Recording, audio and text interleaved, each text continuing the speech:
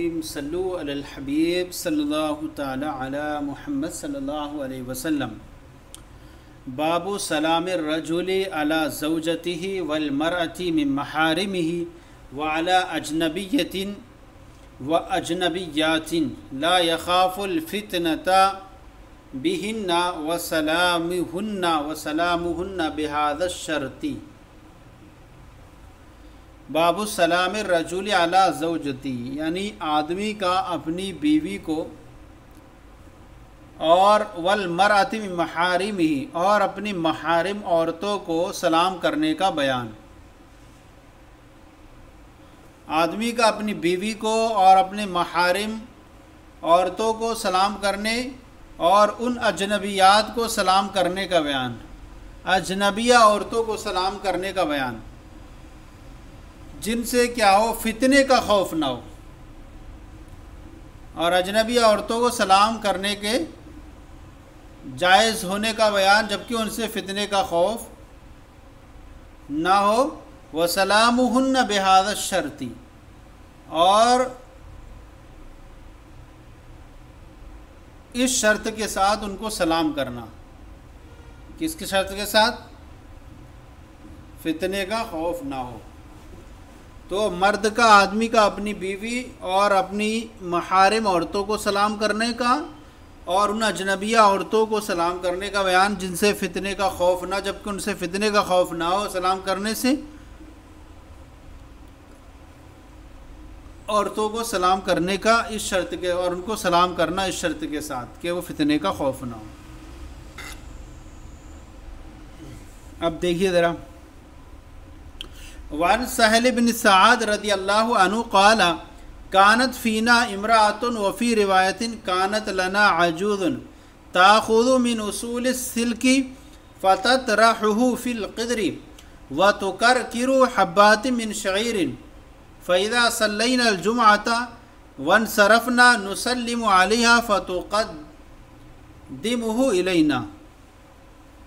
हज़रत सहल बिन साद रदी अल्लाह तालन से रिवायत है, फरमाती, कानत फ़ीना इमरातन, हमारे मोहल्ले में या हमारे दरमियान में एक औरत रहती थी। वफ़ी रिवायत कानत लना अजूज़न, और एक रिवायत में ये है कि हमारे दरमियान एक औरत रहती थी ताखुद मिन उसूल सलक सिल की। सिल्क बोलते हैं, चुकंदर एक होती है फल वगैरह तो उसको। वो उसूल बने जड़े। तो वो चुकंदर की जड़ें लेती फ़तत रहू फ़िलक़दरी और उन्हें जो है, चुकंदर की जड़ें लेती और उनको हांडी में डाल देती और पकाती। ततराह फ़िलक़दरी और उन्हें हांडी में डाल देती थी। व तो कर किरु हब्बाती मिन शहीर, और उसमें जौ के कुछ दाने जो है, वो पीस देती थी। कर करा, यु कर किरु, पीसना। और उसमें जौ के कुछ दानों को पीस देती थी। अब ये कुछ सब्ज़ी वगैरह तैयार हो जाती थी। फ़ैदा सल्लैन जुमा, और जब हम नमाज़ जुमा पढ़ कर आते थे, वन सरफना, और हम वापस होते नुसलिम आलिया तो हम उसे सलाम करते फ़तुक़दम इलैना तो वो जो उसने बनाया होता था, वो हमें पेश करती थी। और उस खाने को क्या करती थी? हमें पेश करती थी, ठीक है?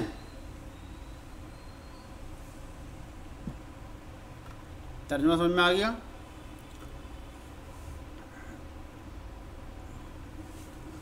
तो हमारे दरमियान एक औरत थी जो चुकंदर की जड़ें लेती और उसे हांडी में डाल करके पकाती और उसमें खजूर के या जौ के कुछ दाने पीस देती थी।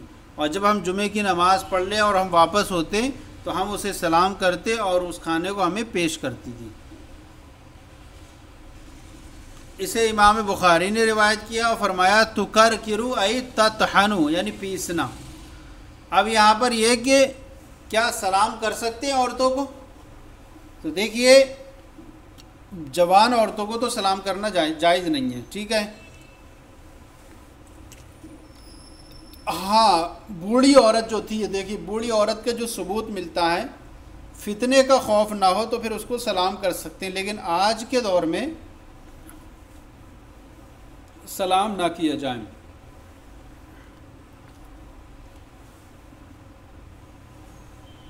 इसी तरह जवान औरतें अगर कोई सलाम करती है तो उनका जवाब इतना आहिस्ता से दिया जाए कि उसको जवाब, आवाज़ ना पहुँचे। बल्कि इसको मायूब समझा जाता है। अगर किसी के घर जाएँ और सलाम ना करें तो मौलाना साहब ने सलाम भी नहीं करते। अपनी चचेरी बहन, फुफेरी बहन, मामू की लड़की वगैरह को सलाम करने की इजाज़त नहीं है।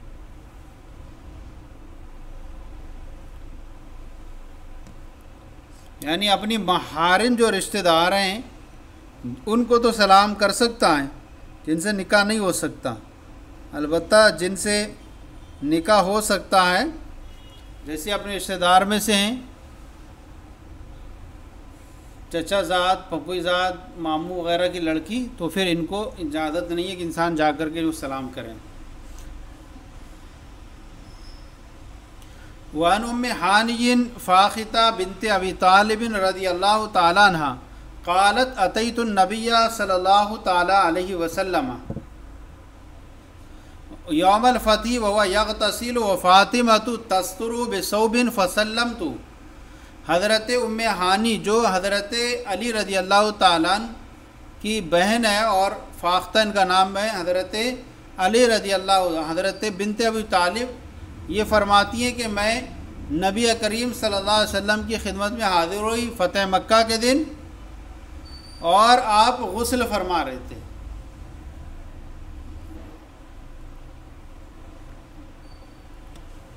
आप गसल फरमा रहे थे, वो फ़ातिमा तो तस्रु बिसौबिन और हज़रत फ़ातिमा जो थी, वो एक पर, कपड़े से पर्दा की हुई थी, आड़ लगाए हुई थी।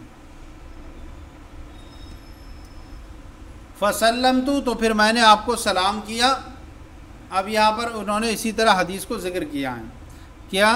हज़रत फ़ातिमा एक कपड़े से पर्दा की हुई थी, आपको सलाम किया, और फिर आपने सलाम का जवाब दिया। तो यहाँ पर जो है, इन्होंने हुजूर सलाम को सलाम किया।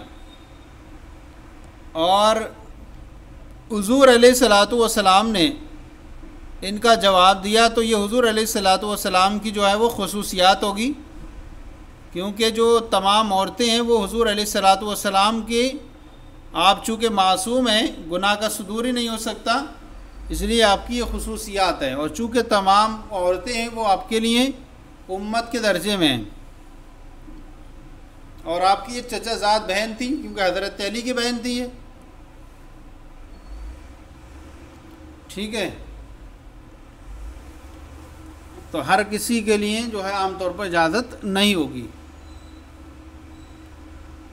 वन असमा बिनत यजीद रदी अल्लाह क़ालत, मर्र आल नबी सल्लल्लाहु अलैहि वसल्लम फ़ी नस्वतिन फ़सल्लम अलैना। रवाह अबू दाऊद अब तिरमिदी वक़ाल हदीस हसन वहादा लफ्ज़ अबी दाऊद। हज़रत असमा बिनत यजीद रदी अल्लाह से रिवायत है, फरमाती हैं कि रसूलुल्लाह सल्लल्लाहु अलैहि वसल्लम हमारे पास से गुजरे। यानी हम औरतों की पास से गुजरे फ़ी नस्वतिन, हम औरतों के पास से गुजरे। फसलम अलैना तो आप सल्लल्लाहु अलैहि वसल्लम ने हमें सलाम किया। इसे इमाम उदाऊद इमाम तिरमिदी ने रिवायत किया, फरमाया, हदीस हसन है हसन है और ये जो है इमाम अबू दाऊद, ये अल्फाज अबू दाऊद के हैं। अब यहाँ पर देखिए कि हुजूर सलाम ने औरतों को यहाँ पर भी सलाम किया है। तो यहाँ आप सल्लल्लाहु अलैहि वसल्लम की ज़ात के ही साथ ही ख़ास माना जाएगा, क्योंकि आप सल्लल्लाहु अलैहि वसल्लम को फितने का कोई खौफ नहीं था। और आप सल्लल्लाहु अलैहि वसल्लम की चूँकि तालीम जो थी वो आप सल्लल्लाहु अलैहि वसल्लम की खसूसियात और आप सल्लल्लाहु अलैहि वसल्लम की जो कि पूरी उम्मत आपके लिए एक तरह से रियाया के और दर्जे में थी तो इस और हजूर सलाम मासूम भी हैं तो ये आपके लिए जायज़ था, या आपकी खसूसियात में था। तो औरों के लिए इस चीज़ की इजाज़त नहीं होगी कि वो औरतों को जा कर के सलाम करें। हाँ कोई बूढ़ी औरतें ऐसी हैं जो बहुत ज़्यादा इंतहाई, बहुत ज़्यादा बूढ़ी हो चुकी हैं अब उनको जो है, अगर कोई सलाम कर लेता तो कोई हर्ज नहीं है। ठीक है?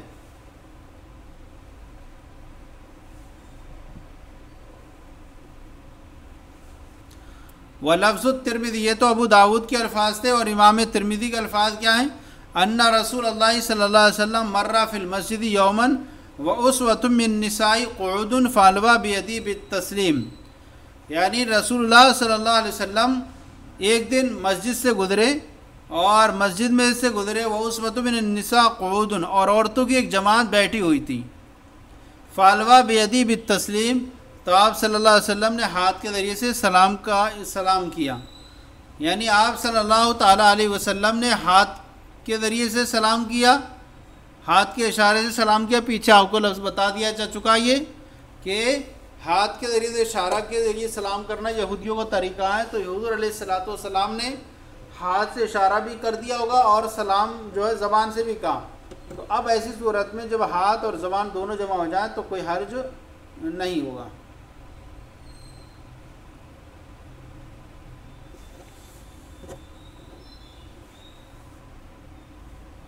हो गया?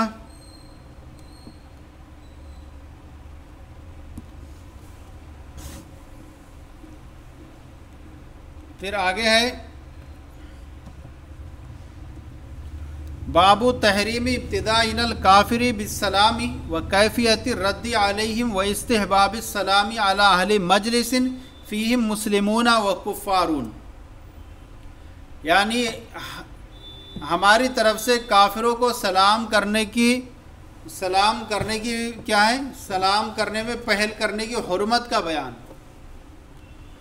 काफिरों को हम बाबू तहरीम इब्तदाइनल काफिर, हमारी तरफ़ से काफरों को सलाम की पहल करने की हरमत का बयान, व कैफियत रद्द आलम और उनके सलाम का जवाब देने का बयान। क्या अगर वो सलाम कर लें तो उनके सलाम का जवाब किस तरह से दिया जाए? तो हमारी तरफ़ से काफिरों को पहल करने, सलाम की पहल करने की, का हरमत का बयान और उनको जवाब देने की कैफियत का बयान और सलाम करने के मुस्तहब होने का बयान। ऐसी मजलिस वालों को जिसमें मुसलमान भी हो और मुशरक कुफ़ार भी हों।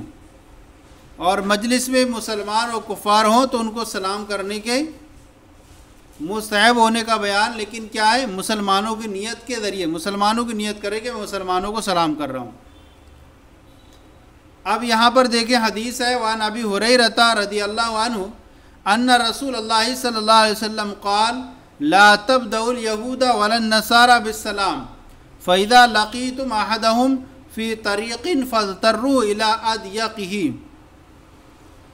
अन हज़रत अबू हुरैरा रदी अल्लाह ताला से रिवायत है फरमाते हैं कि रसूलुल्लाह सल्लल्लाहु अलैहि वसल्लम ने फरमाया यहूद को यहूदियों को और नसरानियों को सलाम करने में पहल मत करो, शुरुआत ना करो, इब्तदा ना करो, आगाज़ ना करो।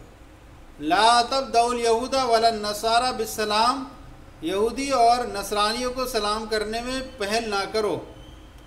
फ़ैदा लकी तुम अहदम फ़ी तरीक़िन तो अगर तुम्हें, अगर तुम्हारी मुलाकात हो जाए उनमें से किसी से रास्ते में, अब क्या हो जाए? अगर तुम्हारी किसी से मुलाकात हो जाए रास्ते में मिल जाए फ़द तर्रू अदिया की तो रास्ते में जो तंग रास्ता हो, उसकी तरफ़ उसे मजबूर कर दो।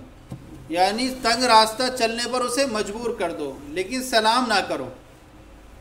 रसूलुल्लाह सल्लल्लाहु ने फरमाया, यहूदी और नसरानी को सलाम की पहल ना करो, और अगर तुम्हारी मुलाकात हो जाए उनमें से किसी से रास्ते में तो उनमें तंग रास्ते चलने की तरफ़ उन्हें मजबूर कर दो। क्या मतलब? यानी ये कि यहूद नसारा को सलाम में इंसान को पहल नहीं करना चाहिए। सलाम करना इब्तदान इनको मना है, क्योंकि सलाम जो है ना एक तरह से इस्लामी, अल्लाह ताला की तरफ़ से इस्लामी तहजीब का एक हमें जो है वो तोहफ़ा मिला है। अब जो है वो गैर मुस्लिम जो है इस बात के मुस्तक नहीं है कि उनको ये तोहफ़ा दिया जाए। या ये सूरत एक है कि सलाम करना इससे जो है इकराम और इज़्ज़त और तादीम होती है एहतराम होता है। और गैर मुस्लिम जो है, इस चीज़ के लायक नहीं है कि उनका एहतराम और इज़्ज़त की जाए। और बाद ने यह भी फरमाया इस बारे में कि सलाम करने से आपस में उल्फत मोहब्बत पैदा करता है और गैर मुस्लिमों से तो उल्फत मोहब्बत करने से मना किया गया है।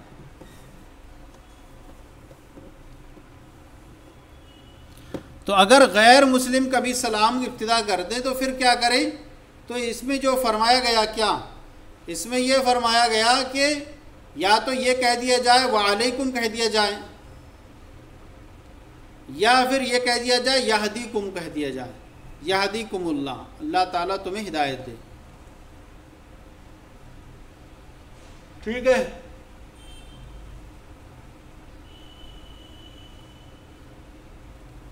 और ये जो फरमाया कि उन्हें तंग रास्ते की तरफ़ मजबूर कर दो मुराद ये कि चंग रास्ते चलने पर मजबूर कर दो कि यहूद नसारा जो दीन इस्लाम की दुश्मनी की कोशिशें करते रहते हैं। तो ऐसे लोगों से ऐसे रास्ते में मिलो तो इतना उन पर ज़ोर डालो कि वो खुद ही से हट जाएँ और दूर रास्ता जो तंग रास्ते पर होकर के चलने लगे और फिर तुम्हें सलाम करने का जो है वो, जो ये करना भी नहीं पड़ेगा कि सलाम करें या ना करें।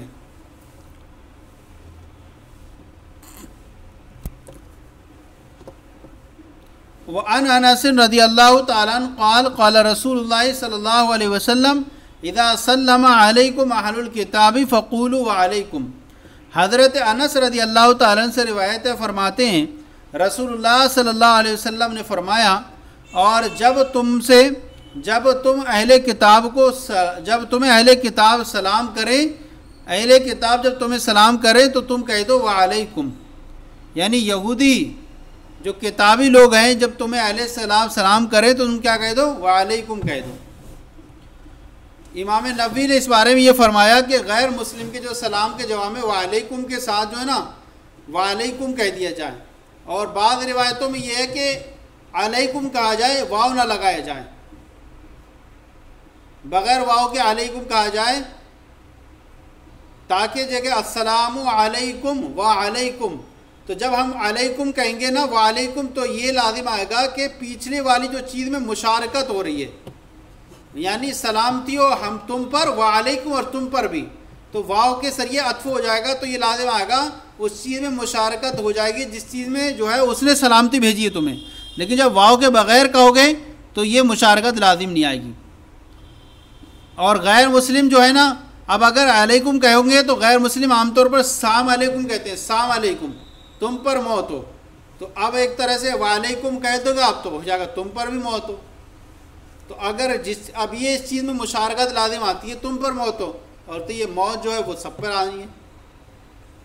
या फिर बाद लोगों ने ये कहा है कि यहाँ जो है वाव लगा दे तो यहाँ मुशारकत नहीं होगी, बल्कि वाव तो यहाँ बतौर इस्तीनाफ होगा शुरू कलाम के बारे में। तो आलई तो अब यहाँ मतलब ये होगा वह अलैकुम यानी तुम जो मलामत के मुस्तक हो, ये मतलब निकालने। बहरहाल जो है वह अलैकुम भी कह सकते हैं, अलैकुम भी कह सकते हैं, और अगर गैर मुस्लिम को सलाम करे दे तो यहदी कुल्लाह भी कह सकते हैं। ठीक है?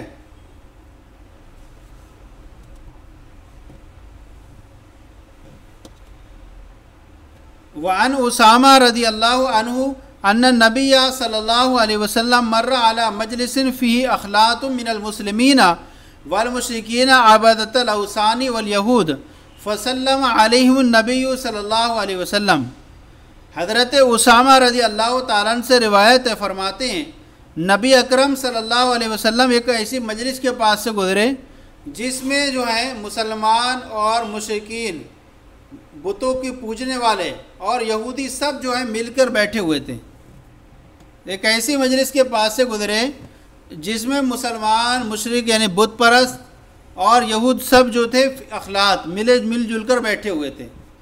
तो आप सल्लल्लाहु अलैहि वसल्लम ने, फ़ासल्लम नबी तो नबी करीम सल्लल्लाहु अलैहि वसल्लम ने उन्हें सलाम किया।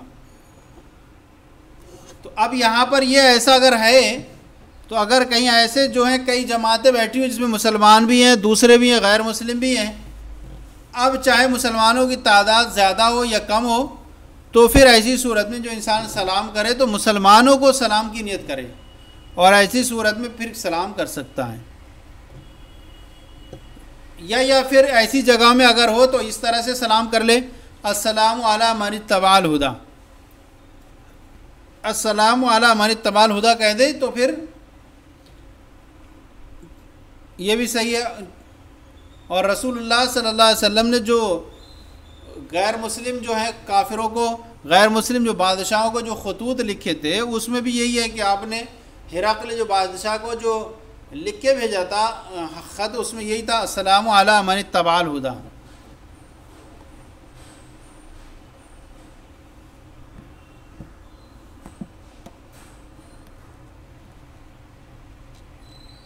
अखलाक मिलजुल कर रहना।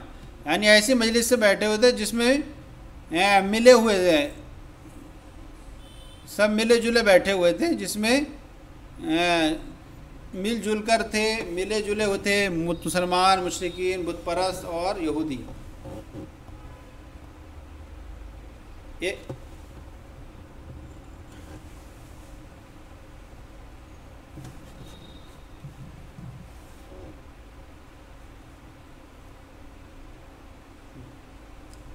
अदियक माने सबसे तंग, यानी रास्ते के सबसे तंग हिस्से की तरफ़ उसे मजबूर कर दो।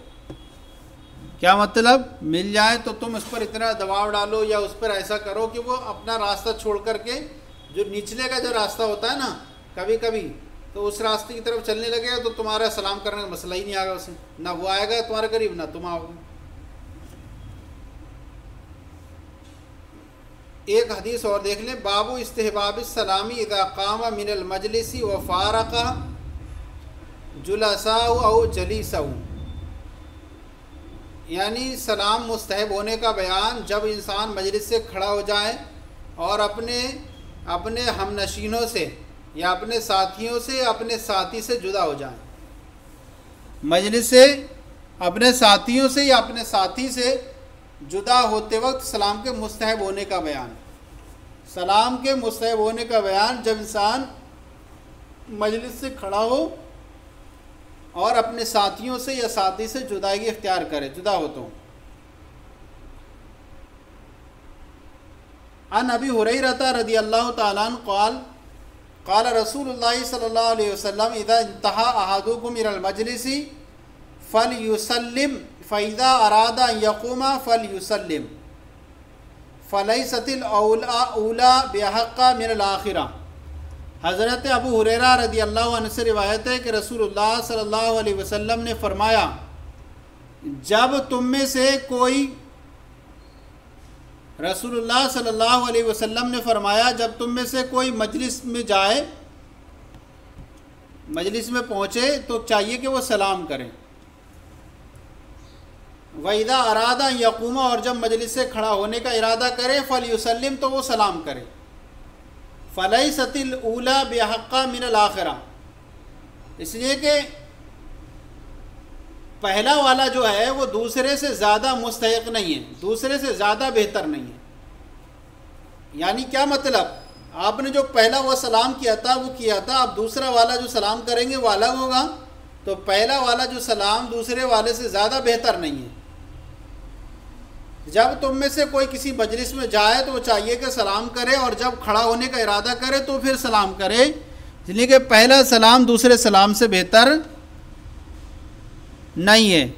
यानी जब मजलिस में बैठने के बाद वहाँ से इंसान वापस उठे तो फिर सलाम करे या वहाँ से चलने का इरादा करे या दूसरी जगह जाना चाहे तो फिर सलाम करना उसके लिए मुस्तैब है।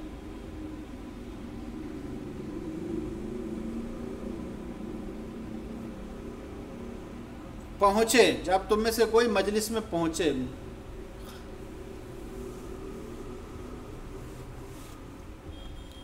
ठीक है?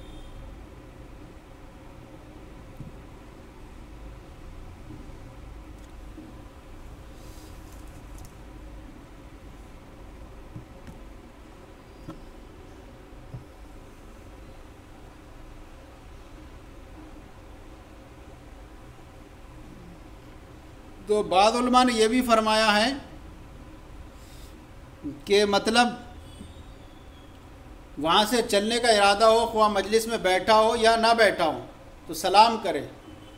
और ये सलाम जो है वो सुन्नत होगा, जैसे कि इब्तदान सलाम करना सुन्नत था। इसी तरह इब्तदान सलाम हो या रुखसत होते वक्त सलाम हो, दोनों दोनों का जवाब देना बास के नज़दीक वाजिब है। हाँ तो अगर कोई इस तरह जो है इब्तदाई सलाम हो या रुखसत वाला सलाम हो, दोनों का जवाब देना वाजिब है।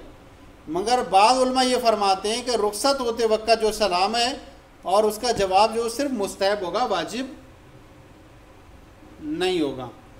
तो जब तुम में से कोई मजलिस में पहुँचे तो चाहिए कि वो सलाम करे और जब खड़ा होने का इरादा करे तो सलाम करे, इसलिए कि पहला वाला जो दूसरे से ज़्यादा बेहतर नहीं है। इसे मामू दाऊद और तिरमीदी ने रवायत किया और फरमाया, हदीस हसन है।